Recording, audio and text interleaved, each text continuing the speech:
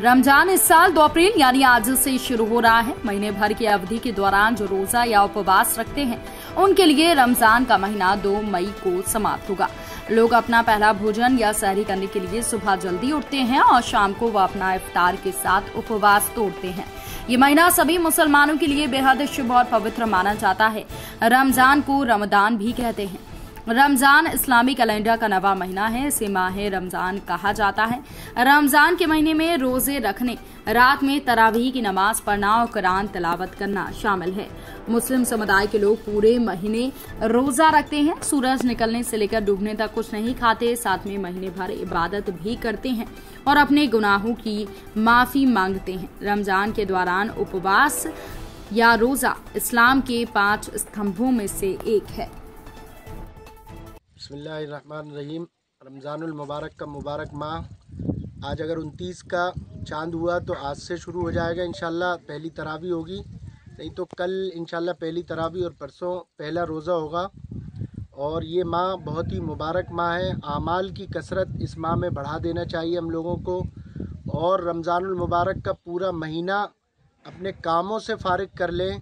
कोशिश ये करें कि कम से कम वक्त कामों में लगे और ज़्यादा से ज़्यादा वक्त इबादत के अंदर लगे और इस माह के अंदर अल्लाह ने रोज़ा, रोज़े को फ़र्ज़ किया है और रोज़े का बदला अल्लाह ताला देगा और आने वाले रमज़ान के बाद एक ईद का दिन आता है और ईद का दिन उन लोगों के लिए है जिन लोगों ने रमज़ान मुबारक में पूरे माह रोज़े रखे हों और इल्ला ये कि किसी उज़्र की वजह से कभी कोई रोज़ा छूट गया उसका वो बाद में हम कज़ा कर लेंगे उसका कफ़ारा, जो भी मसाइल होंगे उसके अतबार से।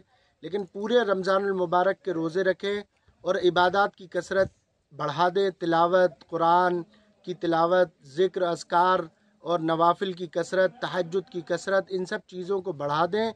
और कोशिश ये करें कि रमज़ान मुबारक का जो महीना है, वो हम चूँकि रोज़ा रखते अल्लाह की इबादत इबादत करते हैं और दिन भर भूखे रह कर करते हैं। तो अल्लाह ताला ने इस महीने से की वजह से दुनिया को, लोगों को ये नसीहत दी है कि भाई अपने जो पड़ोसियों के हकूक़ हैं, चाहे वो किसी भी